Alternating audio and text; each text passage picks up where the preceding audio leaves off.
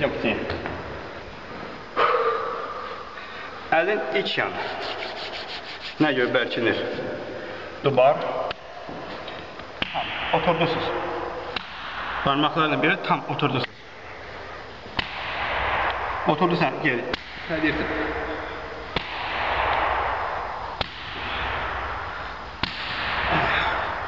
Yumruk.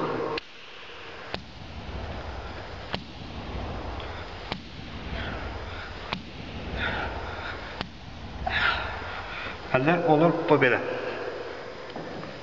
İç belə. Yanlar bu kısımda yumruk olmalı. Tamam mı?